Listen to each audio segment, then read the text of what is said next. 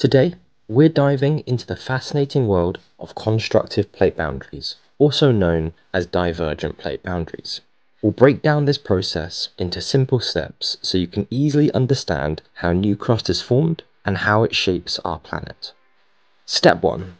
What are constructive plate boundaries?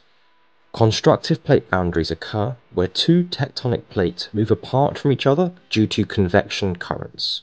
This movement creates a gap between the plates. Step 2 is the formation of mid-ocean ridges. As the plates separate, magma rises from the mantle to fill the gap.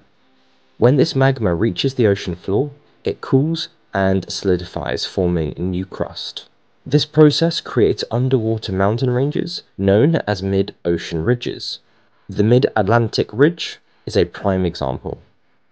Step 3 is creation of rift valleys. On land, when tectonic plates diverge, they create rift valleys. These are large depressions formed by the sinking of the Earth's crust.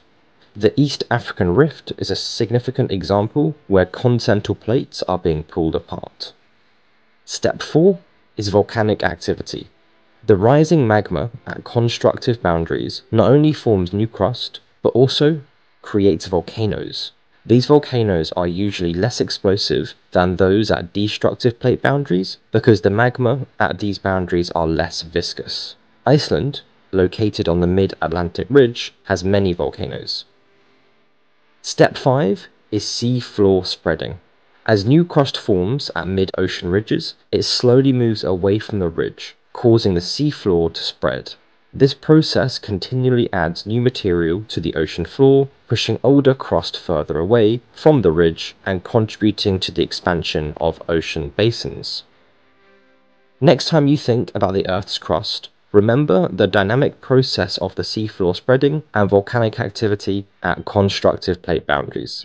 These boundaries are vital in continuously shaping and reshaping the Earth's surface.